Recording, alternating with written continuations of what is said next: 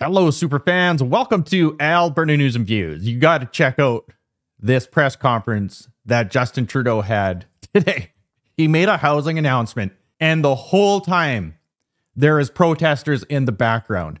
This right here, I'm just going to show you the a, a small clip of it. But this right here is a perfect example for everybody in the world right now to see of what it's like in Canada.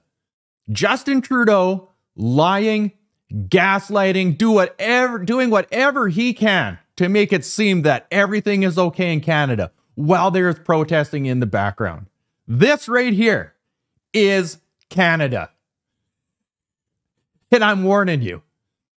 Huge trigger warning. He gets asked by a reporter how he's going to pay for all of his promises that he is making. Listen to this. Let's learn from this. Next question.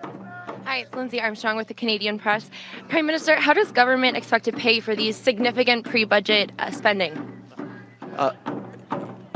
We will be uh, releasing a full budget uh, on uh, uh, in a few weeks. Uh, right now, we're talking about some of the elements in that budget, including today's announcement uh, on significant investments in housing supply to make sure that we're both building the infrastructure but also changing the way housing is built across this country.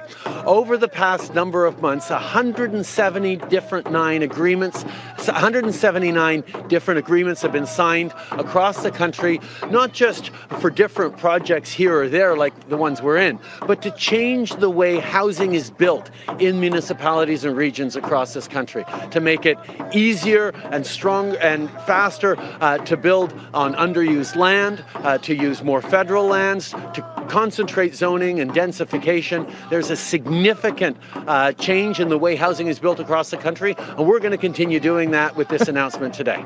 And can we expect higher taxes on the wealthy to pay for this spending? Uh, core to this Liberal government approach has always been fiscal responsibility. We have the lowest debt to GDP ratio in the G7. We're the third largest economy in the world with a AAA credit rating from the international bond rating agencies. Our fiscal plan is stable and responsible, and we will continue to put fiscal responsibility as we invest in Canadians, in their communities, and in jobs at the center of our upcoming budget. Pretty much all of the numbers in Canada's GDP growth are fabricated or just a straight up lie. We have an immigration economy that is funded by taxpayers and supported with a credit card. And that is the truth. It's hilarious that he thinks that his government has always been or is fiscally responsible. Taxes is what's supporting all of these programs.